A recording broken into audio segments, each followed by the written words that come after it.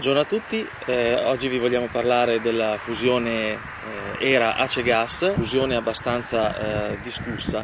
Come sapete tutti i comuni del circondario dell'Emilia Romagna, gran parte dei comuni, detengono tutti insieme il 60% delle azioni ERA, ragione per cui eh, tutti i sindaci hanno indetto i consigli comunali per decidere appunto questa fusione. Noi del Movimento 5 Stelle siamo fermamente contrari eh, perché crediamo che in questa fusione ci sia mascherato un tentativo di privatizzazione di questi servizi. Non siamo solo noi dell'opposizione, ma ci sono anche alcuni esponenti del PD, tra cui uno in particolare, che con il suo consiglio comunale ha votato no a questa fusione.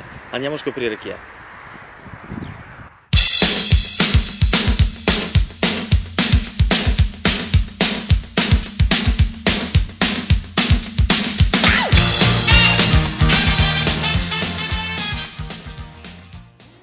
Forlì nella sala del comune e andiamo a fare due domande al sindaco signor Roberto Balzani.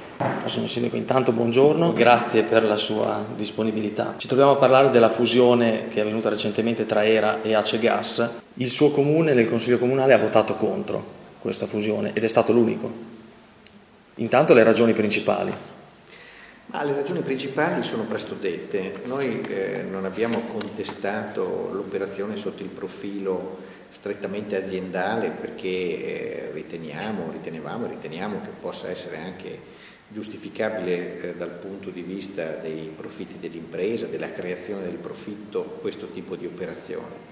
D'altra parte però, essendo non solo azionisti, ma essendo anche amministratori pubblici, noi abbiamo anche un altro cappello col quale entriamo in nera che è quello di eh, rappresentare i nostri cittadini e di fare politiche ambientali che siano coerenti con quello che andiamo a dire nelle elezioni e per i quali siamo votati.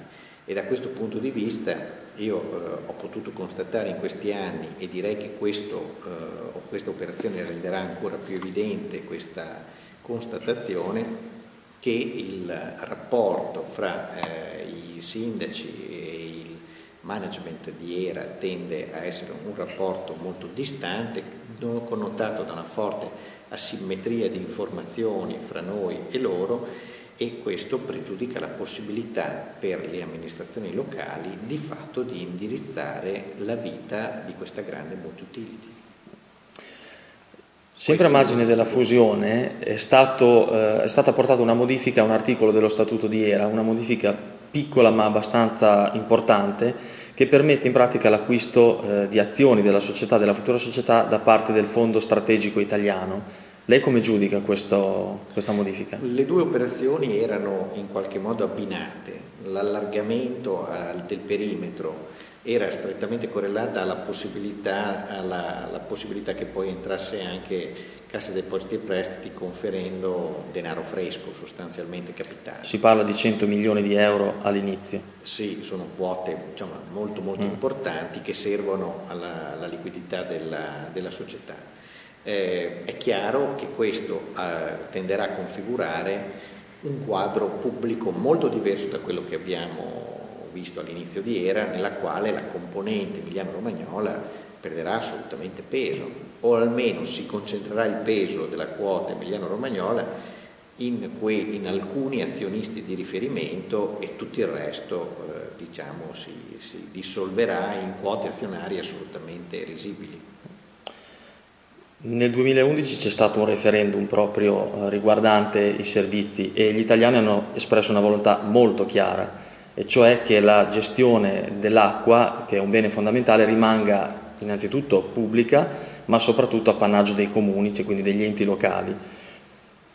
Questa fusione e, tutto quello che gli va attorno alle modifiche degli statuti, pensa che possa cambiare questo scenario e come?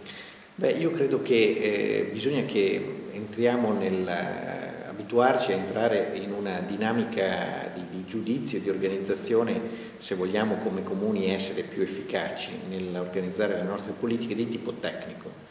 Dobbiamo individuare i, i, servizi che sono a rilevanza economica e per i quali esiste di fatto una liberalizzazione, penso al gas, penso ai grandi servizi a rete che possono essere eh, utilizzati dagli utenti eh, attraverso anche forme di competizione fra gli operatori, che debbono essere eh, gestiti da privati, su questo non c'è dubbio, dai servizi non a rilevanza economica che sono invece pagati dalla tariffa, quindi sono in un regime di monopolio, per i quali eh, secondo me il controllo pubblico deve essere ancora oggi assolutamente tutelato e fondamentale. Questa è la, la, grande differenza e credo che ERA in questo momento stia facendo due lavori che sono molto diversi perché si occupa di servizi di questo tipo, cioè dove l'aspetto monopolistico garantito dal pubblico è, è assolutamente fondamentale e anche di servizi a rete di tipo più tradizionale e legati al libero mercato.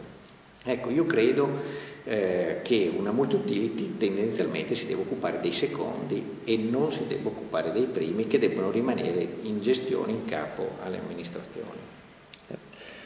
Il nostro sindaco eh, PD, Pierini sta valutando la possibilità di vendere eh, 50% del pacchetto azionario di ERA in mano al comune. Sono piccole quote ma comunque abbastanza eh, significative. Che cosa potrebbe succedere? Che scenario si potrebbe prospettare se tutti gli altri comuni facessero eh, questa operazione per chiare esigenze di bilancio? Beh, ovviamente la privatizzazione di fatto della società, ma è, diciamo, secondo me era, è già una società privata, cioè il, è gestita in una maniera assolutamente privatistica, con delle logiche di mercato assolutamente ineccepibili dal suo punto di vista ma la componente, chiamiamola così, pubblica dell'indirizzo industriale è assolutamente, secondo me, oggi irrilevante. Per cui la vendita delle azioni è in qualche modo la presa d'atto della conseguenza che questa struttura di fatto nel momento in cui è entrata in borsa è diventata altra cosa rispetto a quella per la quale era nata. Quindi secondo me rendere ERA una società pubblica eh, oggi come oggi è impossibile, nel senso che ormai questa deriva, però è evidente che deve, bisogna mettere in evidenza questa sua natura, cioè almeno che si scelga fra una natura privatistica e la natura pubblica e si prenda atto che la natura pubblica non esiste più in modo tale che i servizi che debbano essere riportati in capo al pubblico lo siano senza nessun problema. È questo che voglio dire. Poi io trovo abbastanza bizzarro che uno prima voti la fusione magari all'interno di un patto di sindacato e poi pensi il giorno dopo di vendere le azioni. Ecco, questo è qualcosa che non ha, secondo me, eh, sono due cose che sono, mi sembrano un po' contraddittorie. Torniamo un attimo eh, sulla modifica che ha permesso eh, l'entrata del Fondo Strategico Italiano, eh, che è un fondo la quale finalità principale è raccogliere eh, liquidità indiscriminatamente eh, lo si vede anche sulla home page del sì, proprio sito internet. attraverso il risparmio postale. Infatti, eh, lei ritiene possa essere possibile in un futuro eh, che questo fondo raggranelli quote societarie dei vari comuni in difficoltà, magari non pagandole eh, cash ma pagandole tramite opere, piste ciclabili o eh, altre cose del genere e come valuta questo aspetto? Ma io non credo, devo essere sincero. Non ho questa preoccupazione adesso. Io penso che i comuni vorranno fare cassa semplicemente vendendo le, le azioni e attenderanno il momento, il corso di borsa favorevole per poterlo fare. Naturalmente una volta che eh, sia scaduto il patto di sindacato, perché attualmente noi che non scade possiamo fare, che scade alla fine del 2013. Noi partiamo da ERA che ha un debito di 2,3 miliardi di euro e con questa fusione la nuova società allargherà il suo debito, lo aumenterà a 2,8 miliardi. Dov'è il miglioramento? Ma eh, il, il, miglioramento potrebbe consistere indubbiamente in economie di scala che si possono fare su su, in un'area enorme per cui ERA diventa uno degli, degli, attori oligopolistici di questo mercato, quindi ci sono indubbiamente dei vantaggi di concentrazione che, che vanno oltre il mero calcolo di quello che è l'indebitamento. Ma infatti io mh, tendenzialmente, eh, poiché io non, mh, non, abbiamo avuto neanche diciamo, sufficienti informazioni riguardo al piano industriale esattamente declinato, tendenzialmente io sono per come dire, assumere questo, questa scelta come una scelta che sotto il profilo di un'azienda capitalistica che sta sul mercato può essere assolutamente plausibile. Infatti l'ho detto, è, fatto, è un'azienda capitalistica che sta sul mercato, non è un'azienda pubblica, questo è il punto, si è comportata come un'azienda capitalistica. Noi siamo attori pubblici, ci dobbiamo chiedere se questo atteggiamento, che può essere anche sotto quel profilo plausibile, è compatibile con la nostra diciamo, vocazione alla governance eh, collettiva e se questa governance può stare ancora in piedi oppure no. Abbiamo cercato di rendere quell'occasione della fusione un momento di riflessione, perché la mia sensazione è che noi in questa maniera perdiamo di fatto funzioni di governo. Lei, signor Sindaco, è un esponente del PD. Eh, il nostro sindaco, signor Pierini, anche egli esponente del PD, in un recente consiglio comunale delle terre di pianura, quindi raggruppando diversi comuni dell'Interland bolognese, l'ha più volte definita un irresponsabile pubblicamente. Solo inizialmente durante il dibattito è stato fatto riferimento a Balzani, Roberto Balzani, sindaco di Forlì. Io eh, ho trovato le, le dichiarazioni che sono state citate davvero surreali. Io sono allibito di fronte a, questa, a questo atteggiamento eh, irresponsabile, non so come altro definirlo. Da sindaco a pari grado, tra virgolette, rispetto a, a Balzani, mi sento di dirlo in maniera molto franca questa cosa. Per questa sua scelta appunto di opporsi alla fusione, si sente di rispondere? Ma io indubbiamente sono un irresponsabile, mi sento un irresponsabile, sì, sono totalmente d'accordo con lui. Rispetto al sistema di potere che esiste nel nostro territorio sono un irresponsabile. Bene. Vogliamo concludere l'intervista con una domanda un po' più generica. Viviamo in un contesto storico in cui l'economia eh, è completamente, l'economia reale e anche la vita sociale, la società in genere è completamente eh, determinata dai regolamenti della finanza. Lei come pensa ci si possa difendere, se si può, da questo fenomeno preoccupante e se lo ritiene un fenomeno preoccupante? Ma eh, sicuramente il tema della finanziarizzazione dell'economia è una delle cause della grande crisi che stiamo vivendo dal 2008, eh, quindi la perdita di valore dell'attività economica propriamente detta a vantaggio di bolle speculative che sono avvenute sia nel mondo della finanza che nel settore immobiliare e che hanno portato fra l'altro nei nostri territori a un devastante consumo del territorio, eccetera, eccetera. Io credo che dare, per dare risposte efficaci a sistemi di, di potere economico-finanziario di questo tipo eh, occorra da parte delle forze politiche, dei soggetti civici, dei cittadini, una grande capacità di studio tecnico.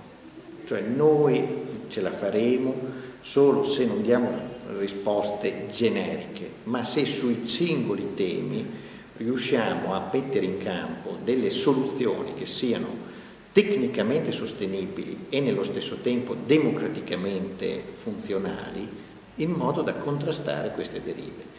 Se noi non ci mettiamo lungo questa strada dello studio sistematico delle alternative, pezzo per pezzo, eh, servizio per servizio, azione per azione, noi rimaniamo a un livello di astrazione che raccoglie la protesta, ma che poi diventa difficile, in qualche modo rimane su questo limitare del burrone, non fa il grande salto perché poi dopo quando si tratta di, di, di produrre gli strumenti del cambiamento si trova avviluppato dalla burocrazia, dalle regole, dai vincoli. Noi dobbiamo diciamo, creare a livello locale una grande consapevolezza nei cittadini e una grande forza tecnica che in questo momento i comuni non hanno, le amministrazioni non hanno. E io spero che questo possa essere davvero l'oggetto di un grande movimento trasversale mh, in Italia, che sarebbe quello che ridà anche agli italiani, potrebbe dare agli italiani e ai giovani, soprattutto che studiano, giovani talenti, anche un'opportunità. Io la vedo in, in, questa, in questo modo e spero che, di dare un mio piccolo contributo in questo senso. Signor Sindaco, grazie ancora per la sua cortesia. Grazie. Bene, avete sentito l'opinione del sindaco di Forlì Balzani, ben diversa da quella del nostro sindaco di Budrio. Ora che siete informati lasciamo giudicare voi quale delle due sia la migliore. Alla prossima!